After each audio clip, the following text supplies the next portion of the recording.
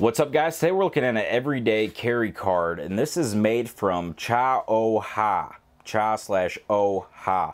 And this is made from a super strong stainless steel. The steel is called uh, S35VN and it, they say that it's a very high quality blade steel that is designed to hold an edge, be corrosion resistant, and have a large amount of inherent strength.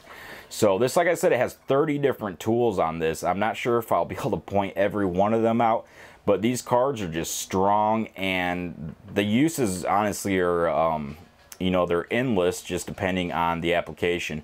But they do have um, different wrench sizes. They are the hex uh, wrenches and we have both metric and imperial.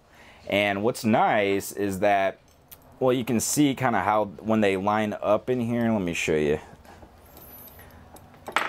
Oh maybe if I set it down it'd be a little bit easier.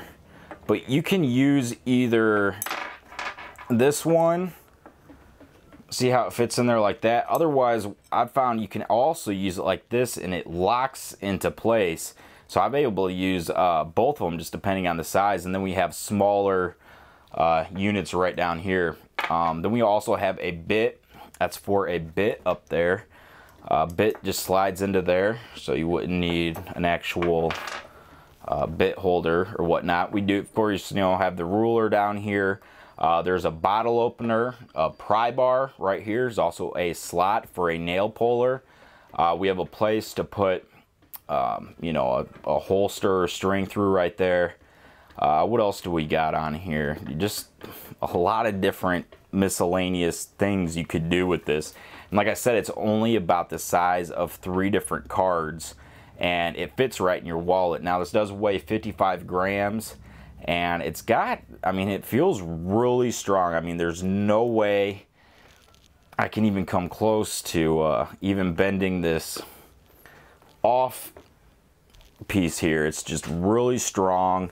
Um, it's got a really nice finish on it and will definitely come in handy. Uh, I obviously forgot the one of the obvious ones we have here. We just have a flathead screwdriver. Um, let's see.